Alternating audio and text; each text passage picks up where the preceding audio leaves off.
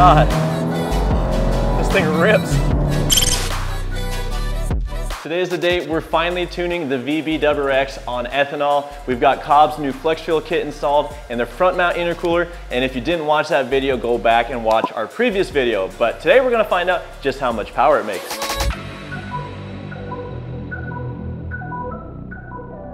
Like I mentioned earlier, we've got a bunch of new Cobb parts we just put on our WRX, including their front mount intercooler, their flex fuel kit, and we've got their redline intake. But really the purpose of what we're trying to do today is to test our new ball bearing turbo setup. So this car is full bolt-ons. It should make some pretty good power, but now we just need to get a proper Pro Tune.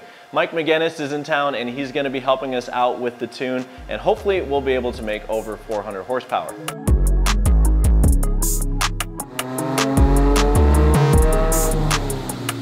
Hi, so I'm Mike McGinnis with Innovative Tuning. I've been tuning Subarus professionally for over 20 years now.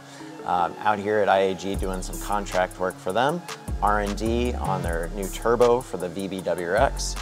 We're also going to be testing it today with flex fuel for the first time. So we've done a good amount of testing with various different bolt-ons on pump gas, and I am going to start again with pump gas today, but then we're going to be adding ethanol to see how much more we can get out of this.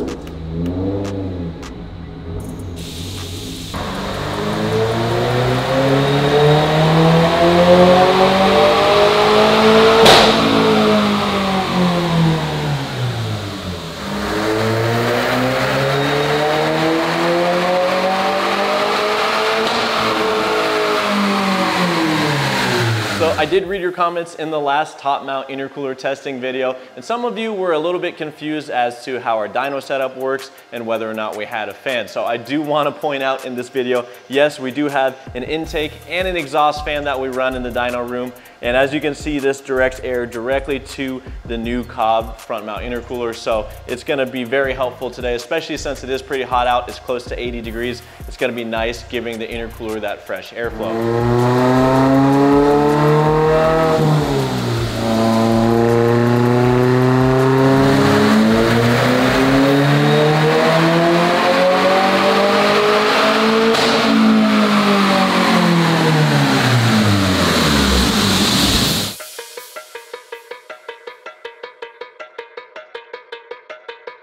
So our power results were uh, 375 horsepower, 377 torque. So really happy with what we're getting, especially for pump gas. This is a huge improvement over the stock turbo.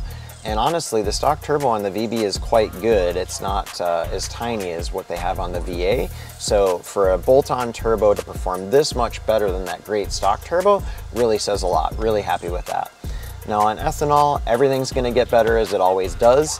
How much better is yet to be seen. Uh, we're already, you know, approaching 400 horsepower on pump gas. Um, and we do have a stock engine in the vehicle, so I am going to be uh, needing to play it a little bit on the safe side with the torque number at least. We'll push it up on the, on the horsepower and see where we end up. Um, fuel system limitations will also come into play, but we're going to play with the amount of ethanol in the car, kind of inch our way up and see how far we can get.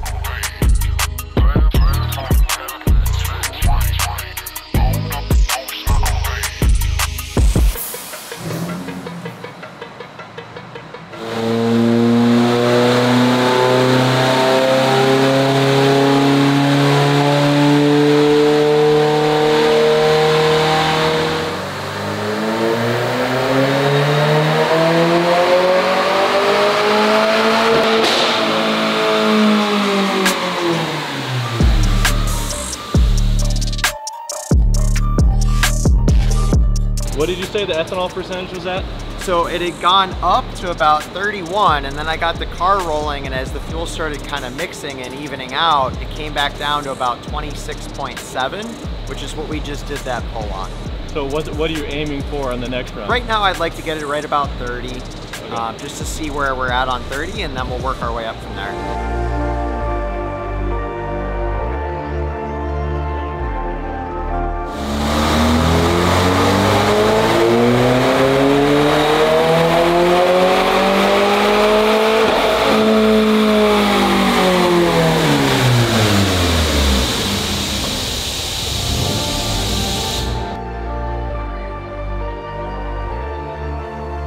I'm nearing the end of what we're probably going to see on E30, uh, but really happy with it so far. Um, so we're at about 444 horsepower at the wheels.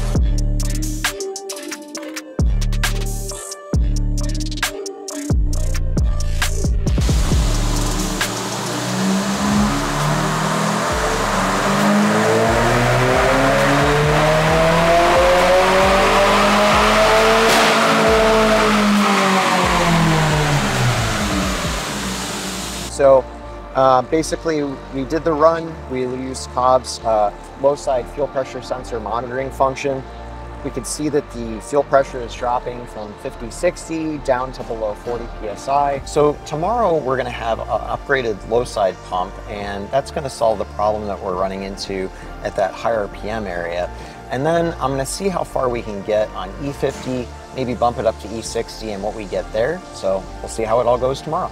Well, that's a wrap for day one of tuning with Mike McGinnis. The new IAG Turbo is really impressive. Nice to see that it's not falling off, and there's definitely a lot more in it there. And our limitations today with tuning were not the turbo, it was more related to our fuel system. But I think it's really cool that we're incrementally tuning the car and step by step seeing what the limitations are of the WRX and showing you why these upgrades are worth buying.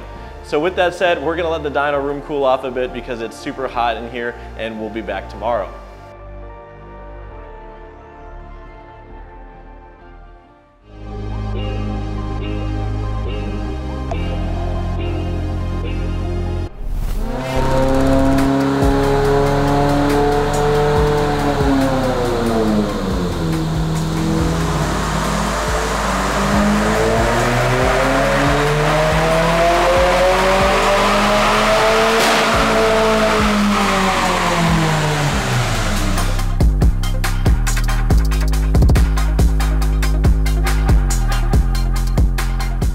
Added a whole bunch of fuel and we only went from 59 to 60%. So I think we'll probably wrap it up at 60. So we got the VB back on the dyno with the upgraded in-tank and high-pressure fuel pump in the engine bay, and that solved both of our fuel pressure drop. At this point, I think we've got everything we can from the turbo. Um, in terms of torque, I've pushed it, you know, about as far as I feel really comfortable with a stock motor. Uh, we're also on a stock transmission at this point, and any more than about 400 foot-pounds, uh, even at 400 foot-pounds, can be an issue for the transmission. So, um, yeah, I think we're at a really good point now. If, however, someone had an STI transmission swap, built engine, wanted to try pushing this turbo a little bit further, or really wanted to run full 85% ethanol, uh, then some bigger injectors could come into play.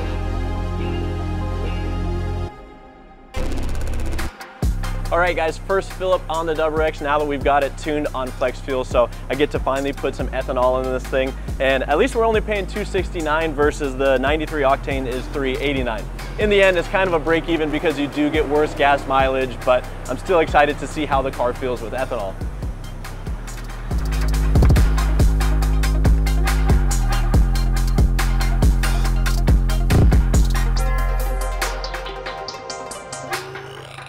Right, we're back in the WRX, this time with the full flex fuel tune. So 450 horsepower, 400 foot-pounds of torque. I'm gonna turn the AC off here to see if that gives us a little bit more power. Uh, but yeah, this is gonna be the fastest I've ever felt the WRX, so I'm really excited to see how it feels. Decent launch. Woo! Holy. Woo! That's fun. Had to shut it down because we ran out of road, but wow, that is fun.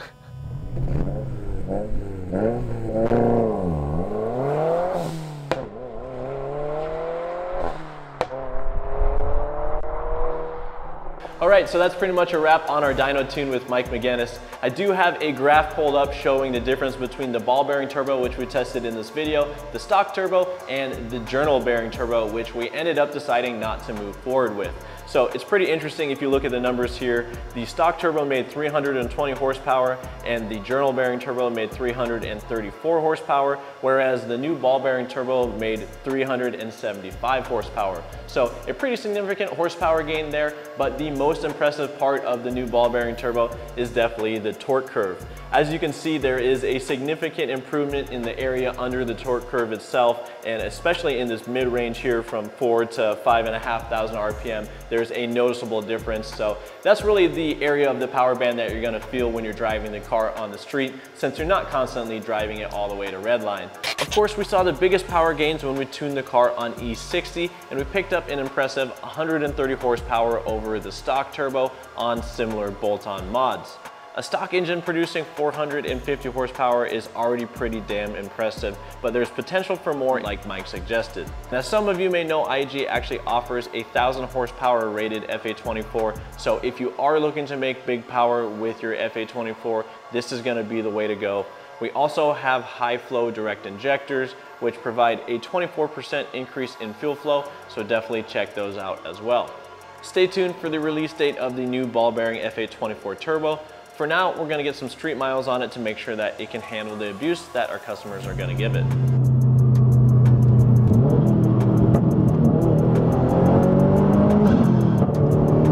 So if you are interested in any of the mods we showed in this video, I'll make sure I leave links down below. And if you do wanna get scheduled with a tune with Mike McGinnis and Innovative Tuning, I'll also link to his website there as well. Thank you guys so much for watching this video, and I'll see you in the next one.